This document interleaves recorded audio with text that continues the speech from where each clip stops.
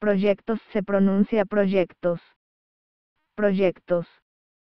Proyectos, proyectos, proyectos. Vamos a practicar, una vez más, proyectos se pronuncia proyectos. Proyectos. Proyectos, proyectos, proyectos.